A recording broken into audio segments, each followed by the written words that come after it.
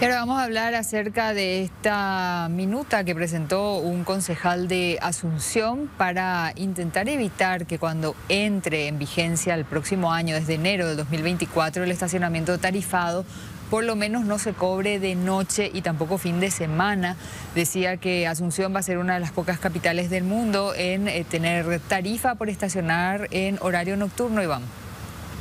Así es, Daniel Concejal Álvaro Grau es el que plantea esta minuta y la explicación que da el concejal es eh, muy entendible porque él refiere que el estacionamiento tarifado en Asunción, uno de sus objetivos es el ordenamiento vial por el tránsito que tenemos habitualmente en la capital. Y él dice en este mismo sentido, de noche no tenemos un alto flujo vehicular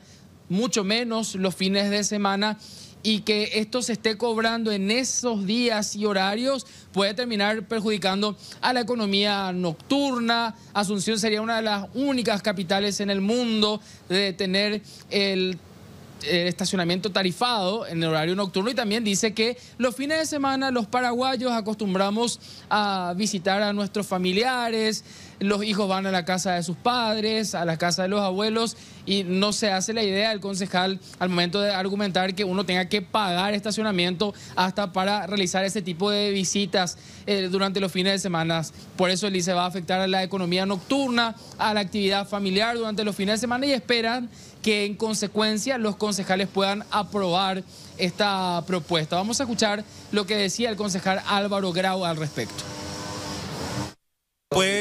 castigar mucho, no solamente el comercio, sino la vida familiar que nosotros tenemos. Porque la hora de la noche y los domingos, eh, los días de descanso, son los días en los cuales nosotros vamos a visitar a nuestros padres, a nuestros abuelos, que llevamos a que los niños vean a los abuelos. Y esto se tiene que, otra vez, o sea, uno se va a visitar a los padres, a los abuelos y va a tener que pagar otra vez para estacionar y vos ves que, digamos, los domingos y a la noche no, no hay un tránsito caótico como para decir y sostener de que eso va a paliar un poco, ¿verdad? Eh, entonces no entra esa lógica que quieren tratar de justificar de que esto es una medida para controlar un poco el tránsito. Por otro lado, no tenemos una alternativa que darle a la ciudadanía porque el transporte público en los horarios nocturnos y los fines de semana no existe en la ciudad de Asunción. O sea, ¿cómo vos te vas a movilizar si no tenés la posibilidad de pagar otra vez un estacionamiento tarifado en horario nocturno o fines de semana. No hay, no hay eh, digamos, buses, no hay líneas de colectivo que estén trabajando a esas horas.